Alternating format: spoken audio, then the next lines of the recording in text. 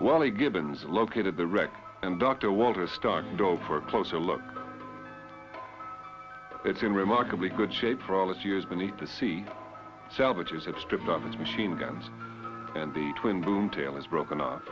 Everything else remains much as it was, except that it's now the home of thousands of beautiful little fish. The rest of the planes on the mission flew on to Bougainville. It was a tricky operation and depended on split-second timing, sort of like threading a needle 400 miles away. Admiral Yamamoto was a brilliant man. Educated at Yale University in America, he had been regarded as a friend of the United States until the war broke out, when he immediately pledged and fulfilled his total and absolute devotion to his Emperor Hirohito.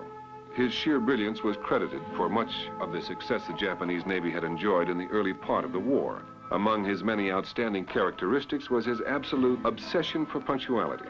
He demanded that his every activity be carried out on a precise schedule, right to the second, or else. Allied intelligence was aware of Yamamoto's phobia, and it was built into the intricate needle-threading navigational calculations that were engineered on Guadalcanal. Of course, there were other navigational factors involved, such things as wind force and direction that would influence the ground speed of the P-38s, and that would be experienced by Yamamoto's two bombers and his escort of six Zeros. And speaking of Zeros, it was also known that there were 100 of them based at Yamamoto's destination, Camille Airfield.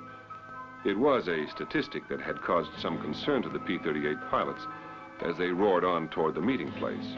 The P-38s, led by Colonel Thomas Lanphier, spotted Bougainville, and quick calculations indicated they were right on schedule.